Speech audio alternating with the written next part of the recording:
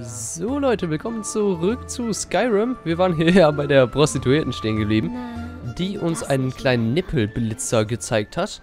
Ähm, ich dachte mir, den, die ganze Zeit, die wir jetzt mal hier einfach warten, beziehungsweise warten müssten, werden wir einfach in dem Bett, ja, äh, vertreiben. Deswegen dachte ich, hier werden wir mal den Wirt anschreiben, äh, ansprechen und werden uns eine Bleibe kaufen. Okay, hat nur 10 Groschen, na komm, das ist ja easy. Okay. Bitte, dreht keine krummen Dinger in Ordnung. Wir achten hier den rechten Weg und wollen keinen Ärger. Okay. Ähm, ja, uns wird das gleich hier aufgeschlossen irgendwo. Ich weiß nicht wo genau. Ähm, aber wir haben jetzt eine Bleibe. Okay, hier haben wir anscheinend nicht die Möglichkeit zu pennen.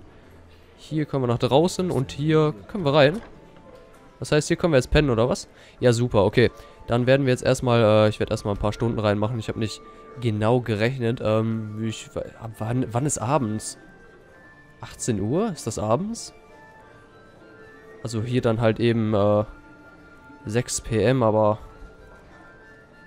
Ich weiß nicht. Ich weiß nicht, ab wann bei denen so abends ist. Also, ähm... Hm, 7 Uhr, das ist schon abends. Nachher wäre dann, also 12 Uhr oder 10 Uhr wäre ja schon nachts.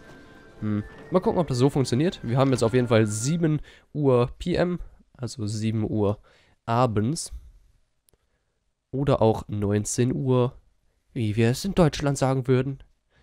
Okay, dann würde ich jetzt mal sagen, wen wollten wir nochmal treffen? Den Jesper oder sowas, der wäre irgendwie, der hat gesagt, wir sollen uns irgendwie abends mit dem bei dem Wachturm treffen. Oder nicht der Jesper? Ich bin mir gerade gar nicht sicher. Gucke ich gleich nochmal nach. Oder wir gehen da einfach hin. Komm, wir lassen uns überraschen. Wenn ihr es noch wisst, dann perfekt. Könnt ihr mir ja in den Kommentaren schreiben. Okay. Der war, der war. Ich schäme mich für den Witz. Das war nicht mal ein Witz. Das, der war so flach. Da musstet ihr die Füße heben. Okay, ich hör auf. Ich, ich hör auf. Oh Mann, ey. Wisst ihr was? Ich glaube, ich werde mir irgendwie, ähm, so ein Flachwitzbuch irgendwie aus dem Internet holen. Oder nicht Buch, aber so total viele Flachwitze, die hier links offen haben und dann für jede, für jeden Ladebildschirm haben wir dann Flachwitze. Ey, das ist doch eine gute Idee, oder? Ja, ich weiß nicht, ob das wirklich so die beste Idee ist, aber, äh, hat was. Hat was auf jeden Fall. Ihr seid Fremdländer, was? Ihr seid Fremdländer, was? Oh, hab ich sofort gesehen. Krass, dass sie das alle direkt erkennen, aber ich meine, ähm, bei dem Aussehen, dass ich Fremdländer bin, ich glaube, das sieht man relativ schnell. Also wäre ja ungewöhnlich, wenn ich da wohnen würde und so eine komische Maske tragen würde. Ich frage mich eigentlich, warum die eigentlich irgendwie nicht, weiß ich nicht, Verdacht schöpfen. Dass ich irgendwie vielleicht so ein bisschen böse bin, vielleicht unheimlich. Ich meine, wenn du da mit so einer komischen Killer-Assassinen-Maske rumrennst, hallo? Was sollen dann die, die Stadtwache da denken? Die Polizei von früher.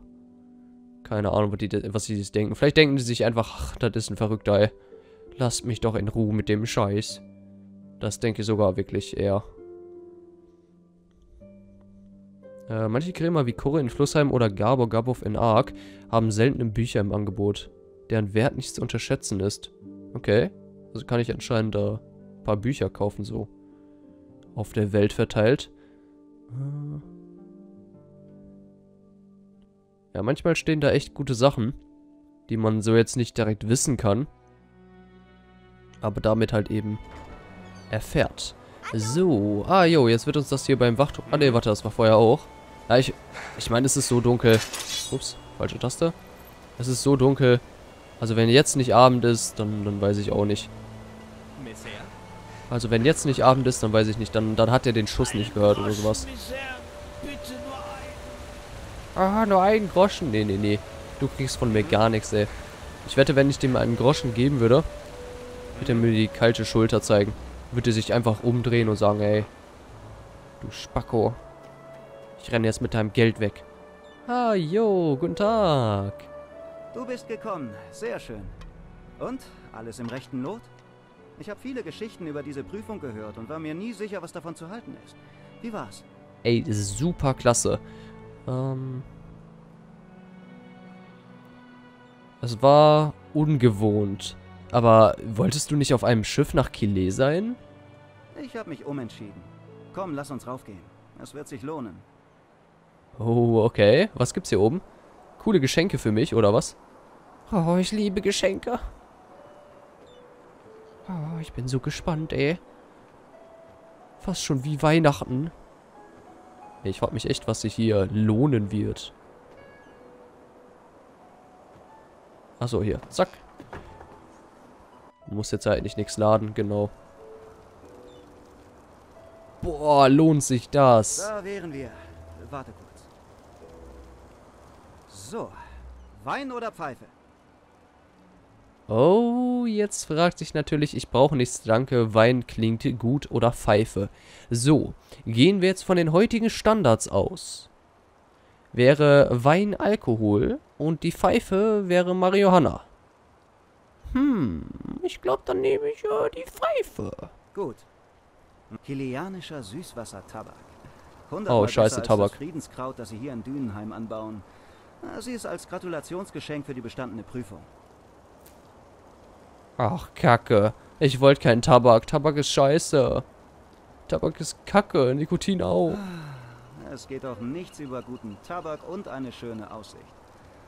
Immer wieder schade, wie wenige Menschen solche Dinge zu würdigen wissen.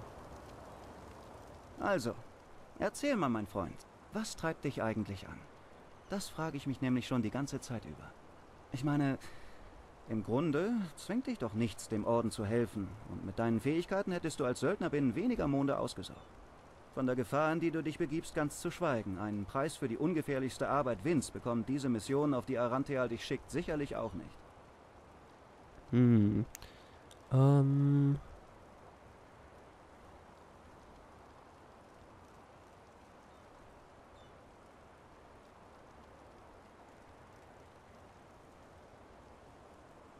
Okay, wir nehmen mal das hier. Das, äh, wenn der Zyklus, also hier, wenn dieser Zyklus uns die und die Läuterung wirklich real sind, betrifft das uns alle. Ich muss meinen Teil dazu beitragen. Das ist weniger Wahl als Verantwortung. Sehr idealistisch. Ich will dich nicht belehren, aber pass auf, wohin dich diese Einstellung bringt. Du weißt, was sie dem alten Magister gebracht hat. Es ist jedenfalls interessant zu sehen, wie du dich vom Flüchtling zum Dreh- und Angelpunkt dieser ganzen äh, Sache entwickelst. Erinnert mich sehr an eine Frau, mit der ich eine Weile lang zusammengereist bin. Lysia. Egal wohin sie ging, am Ende stand sie immer im Mittelpunkt. 13 Jahre ist das nun her. Beim weisen Eremiten, die Zeit ist wirklich unbarmherzig. Oh, da ist jemand eifersüchtig. Ähm, wer war diese Lysia überhaupt? Wir hatten uns bei einem gemeinsamen Auftrag kennengelernt. Normalerweise funktioniere ich besser allein, aber diese Zusammenarbeit war wirklich erfrischend. In jeder Hinsicht. Weshalb wir auch nachher noch weiter zusammengearbeitet haben, was auch wunderbar funktioniert hat. Zumindest anfangs. Sie war einfach zu intensiv. Das ist das richtige Wort dafür. Sie wollte alles und das sofort. Die schönsten Juwelen, die schönsten Männer, die besten Aufträge. Hätte man ihr aufgetragen, der goldenen Königin die Krone zu stehlen, hätte sie es getan. Alleine des Nervenkitzels wegen. Okay. Ähm. Und was ist mit ihr jetzt passiert? Sie begann mehr in unsere Zusammenarbeit, unsere Gespräche und den Sex hineinzuinterpretieren, als da war. Und in den Farben, in denen sie dachte, gab es kein Grau. Das war mir irgendwann einfach zu viel. Okay. Es ist eher ein Wunder, dass ich die Zeit unbeschadet überstanden habe. Ähm, und ist die jetzt gegangen oder wie? Gegangen. Ja, so könnte man es sagen. Aber genug von mir. Was ist mit dir? Gab es in deinem Leben jemanden? Oder warst du schon immer der einsame Wolf? Ähm, noch nicht, nein. Ja, gab es vielleicht. Das geht dich nichts an. Ähm, noch nicht, nein. Tatsächlich? Das überrascht mich. Ich für meinen Teil habe mit Lysia jedenfalls genug melodramatisches Theater für den Rest meiner Tage gehabt. Sex ist schön und gut, aber für alles darüber hinaus fehlt mir vielleicht einfach die Naivität. Liebe hier, Liebe da, Die Menschen haben so verquere Erwartungen. Manchmal glaube ich, uns wäre allen geholfen, wenn wir endlich mal in Betracht ziehen würden, dass der Unterschied zwischen uns und den Affen gar nicht so groß ist. Naja, du hast deine Prüfung doch mit diesem Mädel abgelegt, oder? Erzähl mal, wie lief es denn? Ich habe gehört, es gab einen Zwischenfall auf dem Weg zum Ritualplatz. Jo, dann erzähle erzähl ich mal dir, dir die ganze Story. Hm, aber so ist es eben. Irgendwann hat man seinen Teil getan. Junge, Junge, jetzt haben wir uns aber verquatscht. Hat mich jedenfalls gefreut. Endlich mal jemand, mit dem man sich anständig unterhalten kann. Wir sehen uns, mein Freund. Jo. Tschüssi. So, wir haben äh, jeder Tag wie der letzte beendet. Mal gucken, wo wir jetzt hin müssen. Ich weiß gar nicht, warte Hm. mal. Wo, habe ich nochmal markiert und wieso? Hier. Ach so, das war diese Schatzkammer. Äh, Schatz, dieser Schatz halt generell. Ich entferne den jetzt einfach mal. Okay, cool. Jetzt wissen wir so ein bisschen, was mit diesem Typen hier los war, mit Jesper. Aber was genau müssen wir jetzt tun? Gibt es irgendeine Quest oder sowas? Warte mal. K, M, J? J, ne? Ja, genau. Ach so, stimmt. Wir mussten... Genau.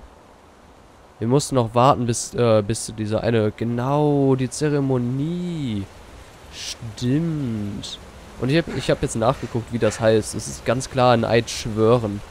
Ich, ich weiß nicht, wieso ich irgendwie das nicht mehr im Kopf hatte, aber ich habe das Wort schwören so oft gesagt, dass es mir einfach total komisch vorkam.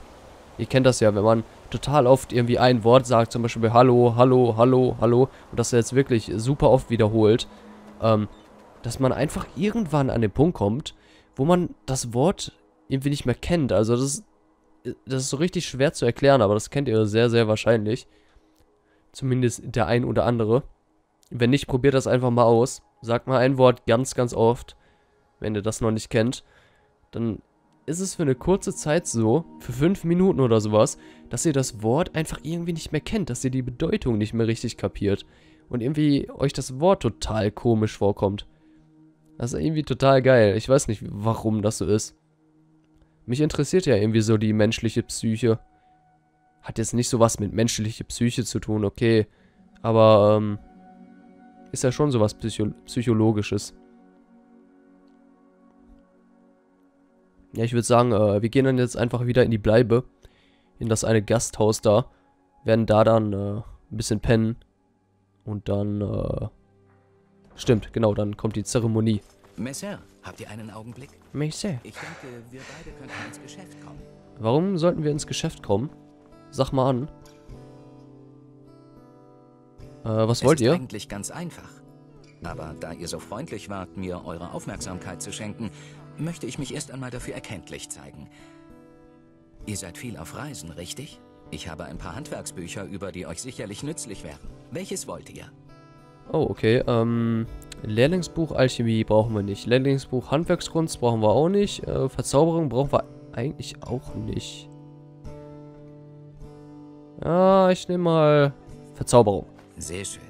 Sagt, wollt ihr euch vielleicht noch ein paar weitere Bücher oder Groschen verdienen? Es gäbe da etwas, wobei ich Hilfe bräuchte. Ähm, ja. Machen wir es kurz. Ich habe ein Problem. Und dieses Problem ist meine Schwester, Sila. Wisst ihr, ich gehöre zu der Sorte Mensch, denen nicht alles vom Schicksal in die Hand gelegt wurde. Mein Heimatdorf, ein kleiner Ort namens Seeheim, wurde, als ich noch ein Kind war, von Banditen überfallen. Tja. Und sowohl mein Vater als auch meine Mutter kamen dabei ums Leben. Oh, okay. Ähm, oh, äh, mein Beileid? Danke. Aber das ist nicht nötig. Die Vergangenheit gehört in die Vergangenheit. Fakt ist, meine Schwester und ich sind unterschiedlich damit umgegangen. Während ich das Erbe unseres Vaters, das wir aus dem Dorf retten konnten, dafür benutzte, in seine Fußstapfen zu treten und ein Geschäft aufzubauen, schloss sie Gesellschaft mit den falschen Leuten, mit denen sie sich auch heute noch umgibt. Oh, okay. Kurzum, sie ist eine Staubschnupferin. Tag und Nacht verbringt sie in irgendwelchen Spelunken der Unterstadt und verprasst den Rest unseres Vermögens für ihre Sucht. Für ihre Das wäre Sucht? alles kein Problem, wenn durch die... Naja, die jüngsten Ereignisse auf der Welt das Geschäft nicht schlechter laufen würde als sonst. Ich brauche unser Vermögen, und zwar das Ganze, um das Geschäft am Laufen zu halten. Okay, ähm. Und. Ja, ich nehme mal hier. Warum schaltet ihr nicht einfach die Stadtgarde ein? Das könnte ich. Aber dass ein Gardist freiwillig in die Unterstadt geht, ist unwahrscheinlicher, als dass ein Batür es zum Oberstädter Barbier schafft. Die Ralata hat dort unten das Sagen. Und das weiß Sila ganz genau. Okay. Äh, und wo ist jetzt das Problem? Warum fragt ihr sie jetzt nicht einfach? Fragt ihr mal einen Staubsüchtigen nach seinem Geld. Die traurige Wahrheit ist, dass Sila, so heißt meine Schwester, gemerkt hat, dass ich meinen Teil des Erbes einfordern will. Und da das nicht in ihrem Interesse ist, hat sie den Schlüssel zu unserem Bankfach versteckt.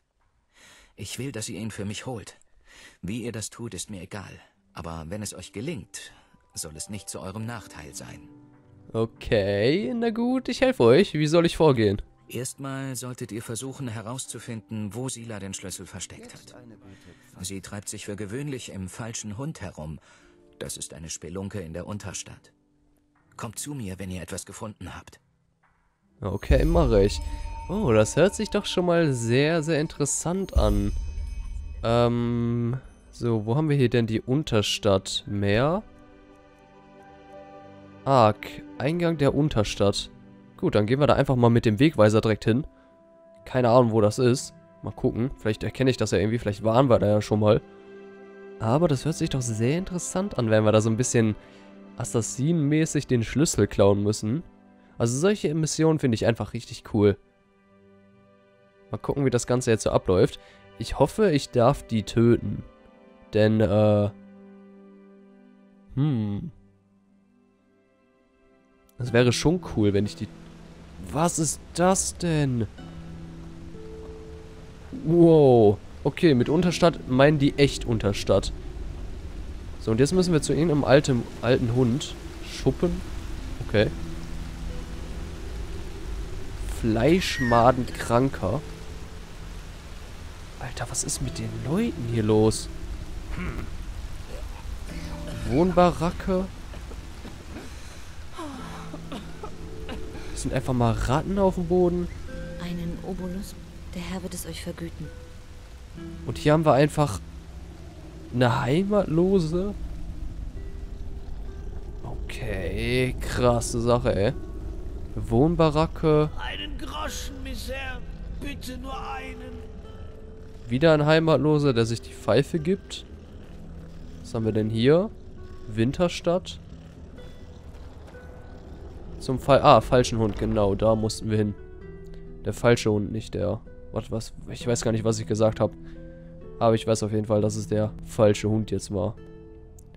Und hier müssen wir irgendwie eine Frau finden, namens Sila, die irgendwo einen Schlüssel versteckt. Hallo. Geht Schankmaid. Ey, lass mich hier mal durch. Danke. Malfas zum Gruß. Einmal. Da, Sila. Euer Bruder schickt mich. Er will wissen, wo ihr den Tresorschlüssel für das Erbe eures Vaters versteckt habt. So, so. Will er das? Der gute Milbert und seine Silberzunge. Jetzt hat er sogar schon Lakaien gefunden, die die Drecksarbeit für ihn erledigen. Ich mach's kurz. Ich werde den Schlüssel behalten. Ich weiß nicht, was er euch erzählt hat, aber sicher nicht die Wahrheit. Wenn ihr die kennen würdet, wärt ihr jetzt nicht hier. Äh, welche Wahrheit? Über den Überfall. Das hat er euch doch sicher erzählt, oder? Wie die Banditen unsere Eltern abgeschlachtet haben und wie nur wir beide es aus dem Dorf geschafft haben. Was er euch vermutlich nicht erzählt hat, ist, dass er abgehauen ist, während ich noch im Haus war und mich versteckt habe.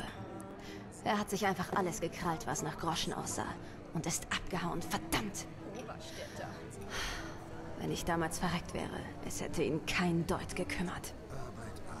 Aber gnädig wie das Schicksal war, kam es natürlich anders. Ich bin ihm nachgerannt, bis nach Ark, in diese verdammte Unterstadt hier. Aber nein, meinte er, war froh, mich zu sehen? Natürlich nicht. Er hat mich in seinem Zimmer schlafen lassen und er hat es so dargestellt, als sei es ein Privileg. Als das Geschäft lief, ist er abgehauen. In sein hübsches Haus dort oben. Ich bin ihm scheißegal, so wie schon immer. Ja, er zahlt für mein Zimmer in den Baracken, wenn man es denn so nennen kann. Aber ansonsten nichts. Und jetzt kommt er angekrochen, weil ich mir den Teil des Erbes nehme, der mir zusteht. Das kann er vergessen. Okay. Ähm.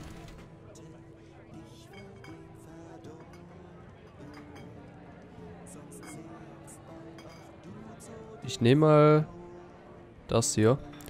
Äh, wenn ihr mir den Schlüssel gebt und Mildred sein Gold bekommt, kann ich vielleicht ein Wörtchen mit ihm reden. Ihn überzeugen, dass er euch versorgt. Das glaubt ihr doch selbst nicht. Ähm, ich habe euren Bruder versprochen, ihm zu helfen. Gebt mir den Schlüssel, dann sehen wir weiter. Schön. Ich sehe schon.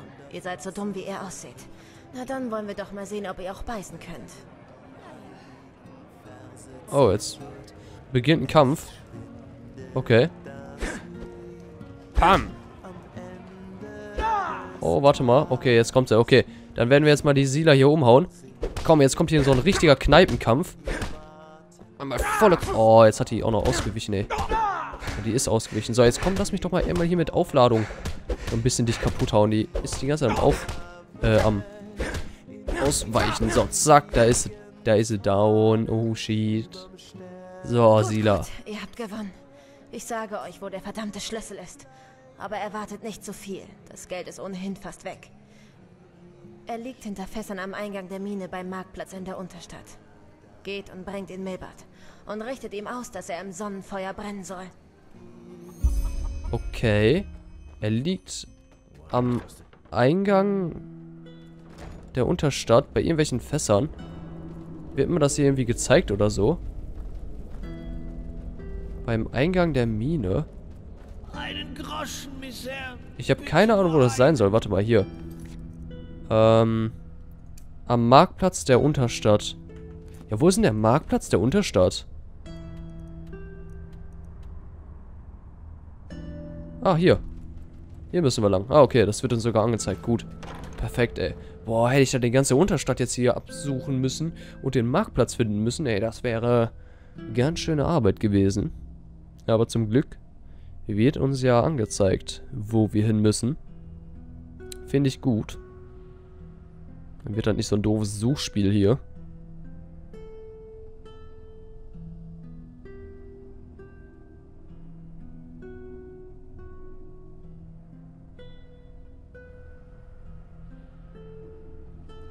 So. Dann geht's hier weiter, ey, ganz ehrlich, ne? Das ist so eine Baracke hier. Guten Tag. Oberstädter.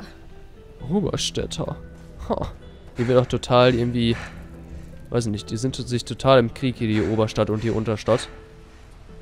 Aber ich meine, kann man sich vorstellen, wenn die Oberstadt so total reich ist und die Unterstadt dagegen das totale Gegenteil und eben total arm, dann können da schon Disparitäten auftreten zwischen denen.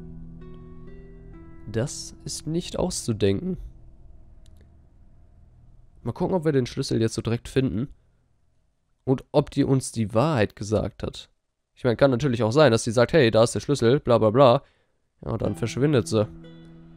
Oder er meuchelt seinen Bruder oder sowas. I ihren Bruder so. So.